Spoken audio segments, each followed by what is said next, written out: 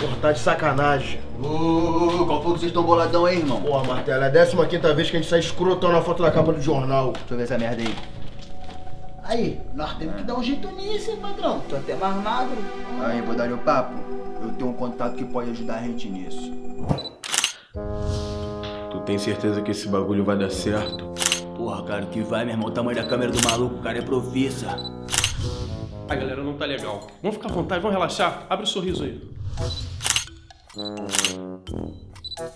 O que, que esse maluco acha que é poder falar assim com a gente, porra? O cara é fotógrafo profissional, meu compadre. Cala a boca e ri, merda. Ainda não tá bom, ainda não tá bom. Vamos fazer o seguinte, vamos ficar na boa. Vamos imaginar assim, avião, os, os homens, os homens, os homens. Fuga na cadeia, fuga na cadeia. X9, X9.